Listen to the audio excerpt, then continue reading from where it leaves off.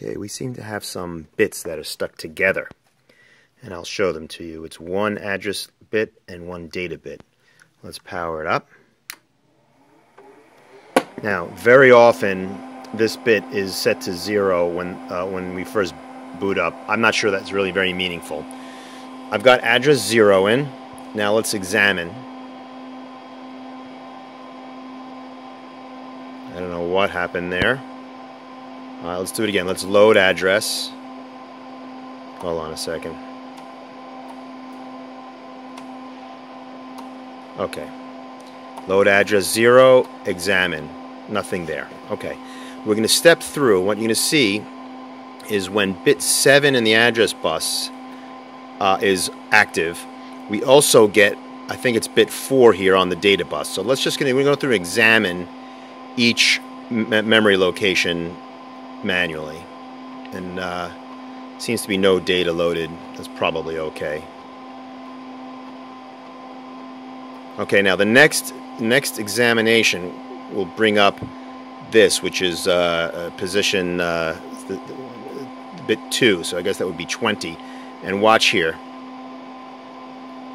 Okay, so bit 7 is somehow attached, address bit 7 is somehow attached to data bit 4. So let's keep going. It'll turn off now because this bit will turn off.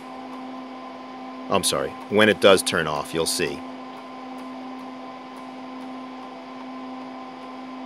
Okay, the next time I hit examine, you'll see that it now turns to this bit. This bit will go off and that bit will go off.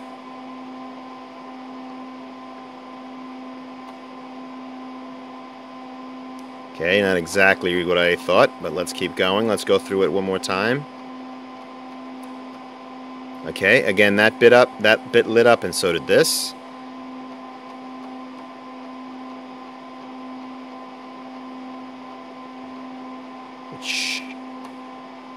Yeah, strange. This should have gone off. Up, oh, now it goes off.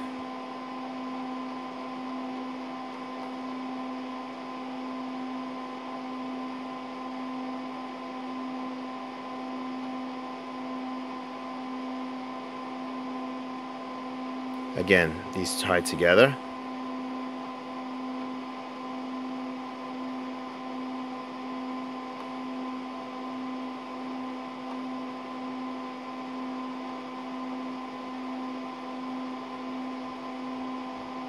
Again, tied together.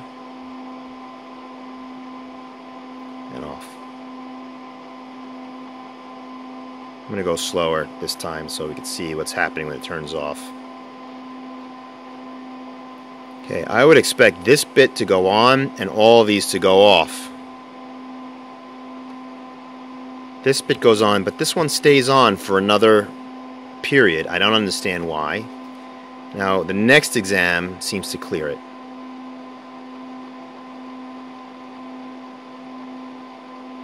There it is again.